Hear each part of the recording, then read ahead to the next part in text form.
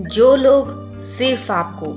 जरूरत के समय याद करते हैं उनके लिए काम जरूर आना चाहिए क्योंकि अंधेरे के समय ही रोशनी खोजी जाती है और वह रोशनी आप हो